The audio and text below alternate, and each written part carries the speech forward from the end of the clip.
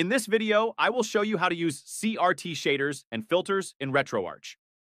In simple terms, CRT shaders and filters in RetroArch are visual effects designed to mimic the look and feel of playing games on old-fashioned TVS and arcade monitors. You will want to make sure to update the shaders first. Go to the main menu and look for the Online Updater. Click Enter and go down to Update GLSL shaders. RetroArch will automatically install the latest shaders. Once that is complete, go back to the main menu. Keep in mind that you need to run a game for the quick menu and shaders to show up.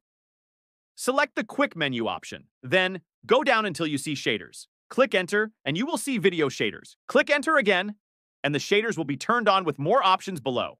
Next, you will want to select load preset.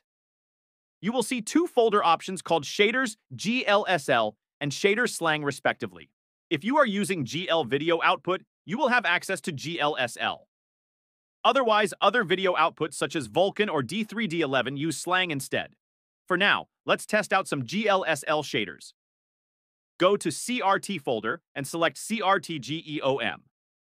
Press F1 and go back to the game, and you will see an old TV look. Next, we will select out SABR folder and choose Hybrid Deposterize. This will smooth out the pixels and make it more modern looking. If you try out the film folder and choose Technicolor, you will get an old school film feel to it. If you are fond of the old Game Boy look, choose the handheld folder and select GB color. Feel free to experiment with the shaders to find something you like. If you want to try out shader slang, you need to go back to the main menu. Then, go to Settings and select Video. Click on Output and change the video option to Vulkan. Now, restart RetroArch. Load up your game once more. Then go to Shaders and choose Shader Slang. We will try out the Cel folder and choose ADV Cartoon. The game becomes more pixelated. If you find a shader or filter you like, you will want to save it as a preset so you do not have to do it every time you load the game. In the Shaders menu, choose Save Preset.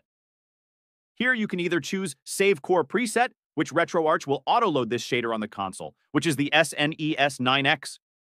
Or you can choose Save Game Preset, which will auto-load this setting when loading the game you are playing. That concludes the tutorial. Thanks for watching.